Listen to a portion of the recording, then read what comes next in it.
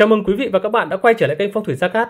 Trong video ngày hôm nay, tôi sẽ chia sẻ cùng quý vị và các bạn về những ngày tốt nhất trong tháng 2 âm lịch năm 2023 năm Quý Mão để chúng ta tiến hành công việc là khai trương, khai trương mở cửa hàng trong cái tháng 2 âm lịch tháng nhuận nhá, tháng nhuận đó. Thì đó là những ngày nào? Xin mời quý vị và các bạn cùng theo dõi. À, thưa quý vị, thì để tìm ra được ngày tốt nhất trong cái tháng 2 âm lịch thì chúng ta sẽ sử dụng cái tài liệu là ngày tốt toàn thư. Thì trong ngày tốt toàn thư có tất cả những ngày tốt, trong đó có ngày khai trương nghiệp trạch thì quý vị có thể tìm hiểu ở cái trang ở cái trang 168 trang 168 thì sẽ có những ngày tốt để tiến hành công việc khai trương. Để tìm ra được một ngày khai trương ấy, thì chúng ta sẽ dựa vào 35 tiêu chí này để chọn ra những ngày tốt khai trương. Vậy nên quý vị hoàn toàn yên tâm khi sử dụng cái ngày tốt khai trương ở trong cái quyển ngày tốt toàn thư này. Đó. À, đầu tiên thì bao giờ cũng vậy, để lựa chọn ra được một ngày tốt thì bao giờ chúng ta cũng cần phải loại bỏ ra những cái ngày xấu, những cái hung tinh. Đó. Thì những hung tinh đầu tiên chúng ta cần loại bỏ đó là gì? Những ngày sát chủ. Ngày sát chủ trong tháng 2 âm lịch thì nó chính là ngày ngày Tý và ngày Sửu. Ngày Tý là sát chủ dương, ngày Thỉu là ngày Sửu là sát chủ âm. Ngày Tý thì chúng ta sẽ có hai ngày mùng 10 là ngày Mậu Tý và ngày 22 là ngày Canh Tý. Đó. Ngày Sửu thì chúng ta sẽ có hai ngày 11 là ngày Kỷ Sửu và ngày 23 là ngày Tân Sửu. Thì hai ngày Tý và ngày Sửu thì bị phạm và ngày sát chủ chúng ta không dùng. Tiếp theo ngày xấu thứ hai chúng ta cần loại bỏ đó ngày Thụ Tử. Ngày Thụ Tử trong tháng 2 âm lịch thì nó sẽ là ngày ngày Thìn.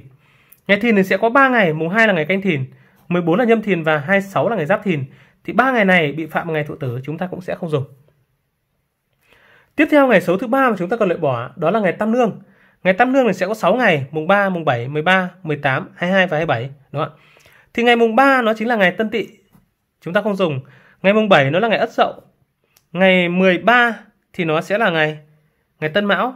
Ngày 18 thì nó sẽ là ngày ngày Bính Thân. Ngày 22 Ngày 22 thì nó là ngày canh tí. Và cuối cùng là ngày 27 thì nó sẽ là ngày ất tỵ. Đúng không ạ? Đó là 6 ngày tam lương chúng ta cần loại bỏ. Và ngày xấu thứ tư chúng ta cần loại bỏ đó là ngày Nguyệt Kỵ. Nguyệt Kỵ thì sẽ có 3 ngày mùng 5, 14 và 23. Thì ba ngày này chúng ta cũng kỵ không làm việc gì. Đó. Ngày mùng 5 là ngày Quý, Quý Mùi. Ngày 14 thì nó sẽ rơi vào ngày Nhâm Nhâm Thìn và ngày 23, ngày 23 nó là ngày Tân Sửu. Đó, đó là những cái ngày xấu chúng ta cần tránh. Tiếp theo ngày số thứ năm mà chúng ta cần loại bỏ đó là ngày ngày Nguyệt Phá. Ngày Nguyệt Phá thì tháng 2 là tháng Mão, Mão Dậu tương xung, vị trí tất cả những ngày Dậu thì chúng ta cũng sẽ không dùng. Bao gồm có hai ngày mùng 7 là ngày Ất Dậu và ngày 19 là ngày là ngày Đinh Dậu. Tiếp theo, chúng ta cần loại bỏ một ngày nữa, đó là ngày Dương Công Kỵ. Ngày Dương Công Kỵ trong tháng 2 nó là ngày 11. Đó. Ngày 11 thì nó chính là ngày là ngày kỳ xíu nó phạm ngày Dương Công Kỵ. Đó. Ngày xấu thứ bảy chúng ta cần loại bỏ đó là ngày Trực Bình. Ngày trực bình thì các bạn nên xem xét nhé. Cân nhắc kỹ trước khi dùng. Tiếp theo ngày thứ 8 là ngày trực thông là ngày Tý. Thì ngày Tý phạm người sát chủ rồi, chúng ta cũng à, loại bỏ không quan tâm nữa. Và ngày thứ 9 ngày trực bế thì nó là ngày dần thì chúng ta cũng phải cần xem xét nhé. Xem xét kỹ, nếu mà có nhiều cắt tinh thì chúng ta vẫn có thể dùng được. À, ngày thứ 10 chúng ta cần loại bỏ là ngày tiếp sát, ngày tai sát và ngày người sát. Thì tiếp sát, tai sát, người sát nó là ba ngày thuộc phương vị tam sát. Đó. Đó là ngày thân, ngày dậu, ngày tuất. Thân thì phạm gì? Kiếp sát, Ngày dậu thì phạm vào tai sát, Đó, tai sát và ngày tuất thì phạm vào nguyệt sát. Thì ba ngày này chúng ta cũng kiên kỵ không nên dùng. Đó. Kiên kỵ không nên dùng. Tiếp đến ngày thứ 13 thì chúng ta cần loại bỏ đó là ngày nguyệt hình. Thì tháng này tháng tháng mão đó, mão và tý là hình nhau, vị trí là những ngày tý thì nó cũng là nguyệt hình. Như vậy là các bạn thấy đấy, trong ngày tý này chúng ta có nhiều rất nhiều gạch, tức là gì? Nó là ngày cực xấu. Ờ, khi mà dùng các bạn cũng cần phải xem xét hết sức kỹ lưỡng mà tốt nhất không nên dùng là tốt hơn. Đó. Tiếp đến ngày uh, Nguyệt Hại thì nó sẽ là ngày ngày Thìn. Ngày Thìn là chung ngày Tự Tử rồi đúng không ạ? Chúng ta có cục diện là Mão và Thìn là hại nhau. Và ngày thứ 15 chúng ta còn lại bỏ đó là ngày Nguyệt Yếm. Nguyệt Yếm thì là những ngày Tuất đúng không ạ? Ngày Tuất chúng ta thêm chữ Nguyệt Yếm vào đây nữa. Nguyệt Yếm. Đấy. Tiếp theo, ngày thứ ngày thứ 16 là ngày Thiên Sứ. Ngày Thiên Sứ trong cái tháng này nó là ngày Ngọ. Đấy, ngày Ngọ Phạm Thiên Sứ. Thiên Sứ, đó. Tiếp đến là ngày Đại Thời ngày 17, nó là ngày Tuất. Ngày Tuất lại phạm Đại Thời. Tiếp theo à, đến ngày thứ 18 là ngày đại hao. Đại hao thì nó sẽ rơi vào ngày ngày mùi. Ngày mùi phẩm đại hao nhá. Đó. Tiếp đến ngày thứ 20 nó là ngày tứ hao. Ngày tứ hao thì nó là ngày nhâm tý thì trong tháng không có này.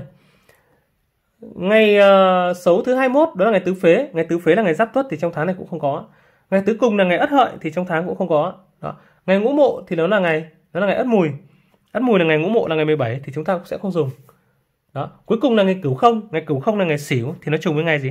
Trùng ngày sát chủ sát chủ âm. Vậy nên chúng ta cũng sẽ không dùng. Đó như vậy là tôi đã vừa loại bỏ ra 24 sao xấu 24 cái ngày xấu 24 hung tinh.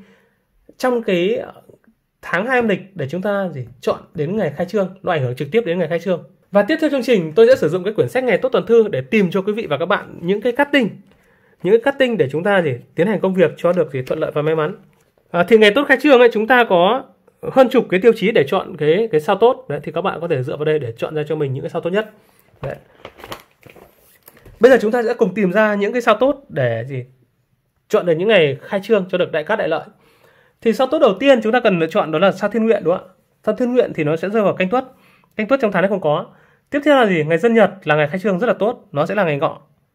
Những ngày ngọ ngày ngọ thì chúng ta phạm thiên sứ thì chúng ta cứ để đây, treo đây xét sau. Tiếp theo là ngày trực mãn. Trực mãn thì là ngày tỵ thì ngày tỵ chúng ta sẽ có 3 ngày là mùng 3 là tân tỵ 15 quý tỵ và 27 ất tỵ. Thì ngày mùng 3 ngày 27 thì bị phạm ngày tam lương rồi. Như vậy chúng ta còn ngày 15 là ngày quý tỵ, là ngày tốt đầu tiên. Đó. tiếp theo là chúng ta xét đến ngày trực thành. Ngày trực thành nó là ngày hợi, đúng không? ngày hợi thì chúng ta sẽ có hai ngày, là ngày mùng 9 và ngày 21 9 này là đinh hợi. Và ngày 21 là ngày 21 là kỷ hợi đó đó là ngày tốt tiếp theo. Ngày tốt ngày tốt tiếp theo là ngày trực khai. Ngày ngày trực khai là những ngày xỉu, những ngày xỉu thì bị phạm vào ngày gì? Ngày sát chủ rồi, ta không ta không xét nữa. Tiếp đến ngày ngũ phú. Ngày ngũ phú thì trong cái tháng 2 ấy, thì nó sẽ là những ngày dần. Ngày ngũ phú là một trong ngày tốt để khai trương ấy. Vị trí là các bạn cũng cần phải xem xét thêm nhé.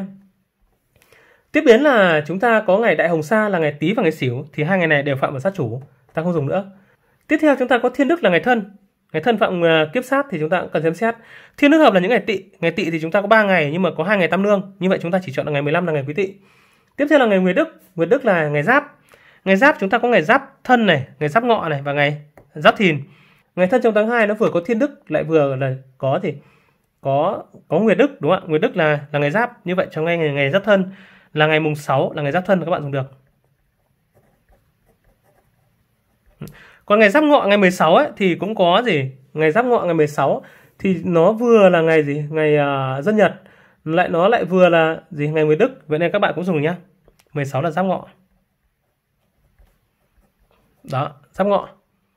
Tiếp theo ngày người đức hợp là ngày kỷ. Ngày kỷ đây chúng ta sẽ có những ngày nào? Ngày kỷ đây trong tháng này chúng ta có ngày 21 là ngày kỷ hợi này ngày 11 là ngày kỷ sửu và ngày mùng 1 là ngày kỷ mão.